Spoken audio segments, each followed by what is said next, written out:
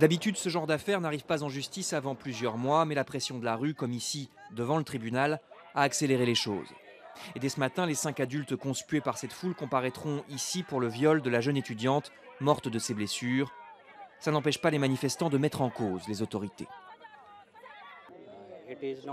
La police a fait dire que le jour du viol, elle est venue à l'aide de la victime et l'aurait même emmenée à l'hôpital. Mais ce n'est pas vrai. Après une demi-heure, il n'y avait toujours pas de secours. C'est pourquoi la police est aussi responsable dans cette affaire. À New Delhi, certains manifestants ont même commencé une grève de la faim.